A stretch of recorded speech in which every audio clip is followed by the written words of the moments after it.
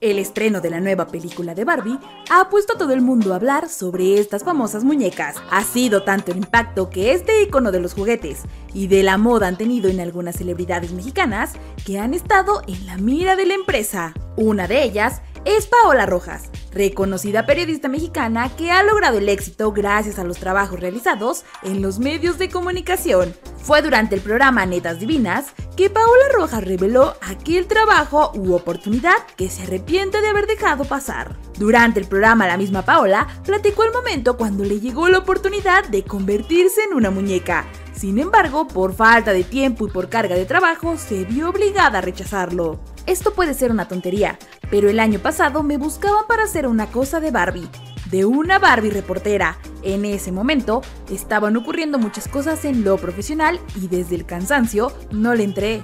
La periodista comentó que es una de las pocas cosas de las que se arrepiente, pero que constantemente se ve forzada a trabajar más de lo que soporta.